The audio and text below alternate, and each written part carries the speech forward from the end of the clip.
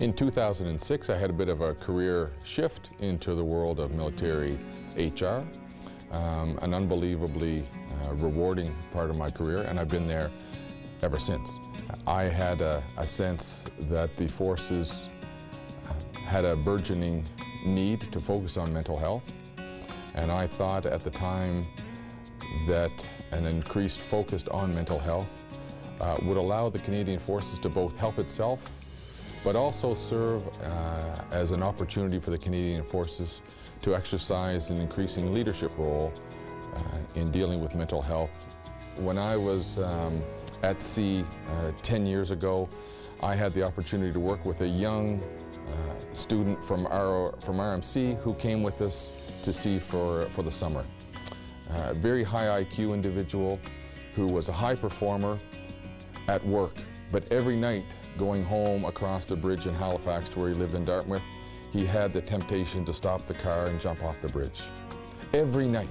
And he withdrew from his family, and he was smart enough to seek help for himself because he had the confidence that the system would look after him, finally had the, uh, the, the courage to put his career second and look after he and his family first. It bears mention that less than 50% of the mental health cases that we deal with in the military have a deployment related, whether that be Bosnia or Haiti or Afghanistan um, or Libya or anything else.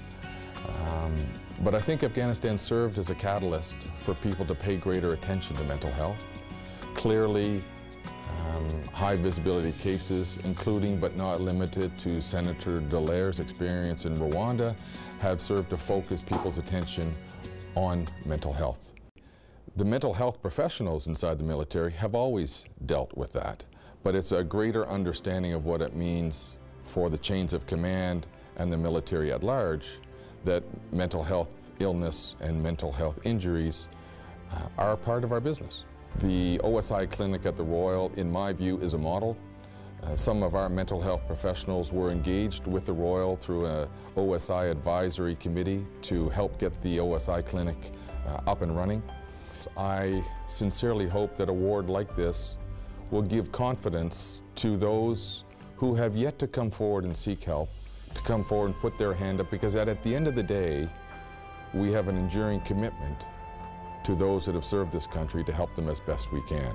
If we have um, some greater capacity challenges in the Canadian Forces today with respect to treating people, I take that as a good problem to have because it's a sign that more people are willing to put their hand up and come forward and seek help.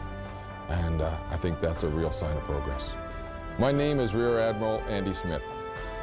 Now you know who I am. Are you with me?